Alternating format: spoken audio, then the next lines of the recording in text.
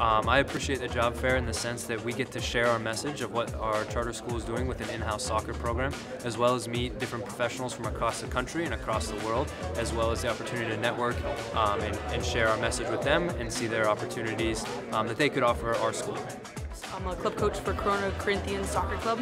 I'm learning a lot about uh, networking, working along with coaches, uh, meeting coaches from all levels, from youth level all the way up into college. Um, it's real fun. I enjoy it.